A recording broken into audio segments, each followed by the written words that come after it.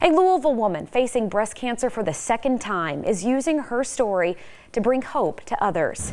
Laura McGregor was diagnosed with breast cancer in 2007 and then again in 2014. During that time, a friend gave her a scarf and shared her own cancer story.